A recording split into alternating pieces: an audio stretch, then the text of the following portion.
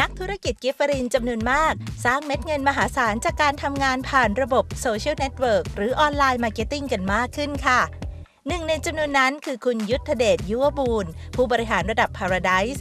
ที่สามารถสร้างยอดธุรกิจทุบสถิติได้อย่างน่าทึ่ง3ล้าน5แสน PV คือยอดธุรกิจที่ส่งให้ท่านและคู่รหัส ได้เดินทางไปท่องเที่ยวอังกฤษอย่างภาคภูมิใจเป็นอย่างยิ่ง วันนี้ท่านจะมาเผยเคล็ดลับว่า ผู้คนจำนวนมากในโลก social network จะกลายมาเป็นผู้บริโภคและนักธุรกิจกิฟฟารีนได้อย่างไร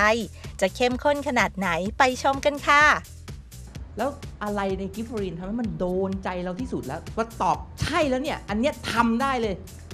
คือเราอ่านแผนมาปุ๊บแล้วดูปัจจัยต่างๆ ของบริษัทเนี่ยคือแบบสมัครปุ๊บเนี่ยรวยแล้วอ่ะพอสมัครทันทีปุ๊บเนี่ยเรามีสาขาทั่วประเทศละอืมตลอดชีพด้วยก็คือเป็นของเราถูกปะครับนะครับ